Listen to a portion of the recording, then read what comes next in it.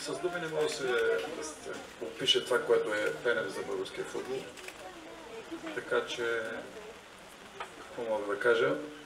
Старшите си номер едно. Приятна вечер. Благодарим, благодарим.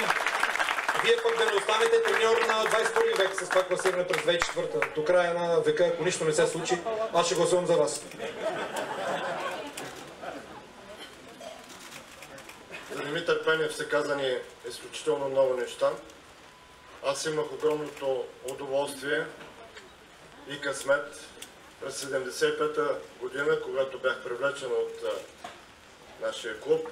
Той все още да бъде футболист, той беше нашия капитан на отбора и близо две години ние младите имахме възможност да играем и с него. Мога да споделя пред вас, че той като капитан на отбора помагаше както с играта си, така и с добронамереното си отношение към нас, младите, така че да можем ние по-бързо да се интегрираме, защото повярвайте ни, никак не е лесно един 17 годишен хлапак да влезе, да започне да играе с такива колоси, като него, Георги Денев, Марашлиев, Божил Колев, да ни изброявам, разбира се, всички от това славно поколение големи български футболисти.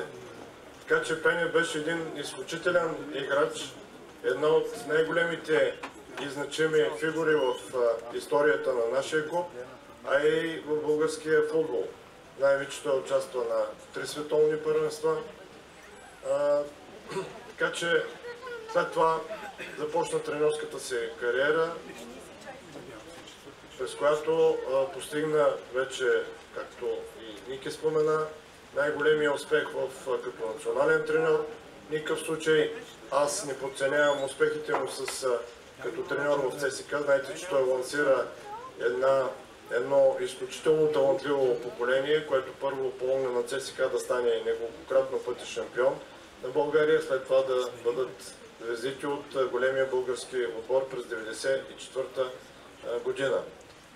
Искам да пожелая на книгата успех, колкото може повече хора да я прочитат, защото в нея съм убеден, че Димитър Пенев е споделил много лични важни моменти от живота си, като, не само като състезател, като човек.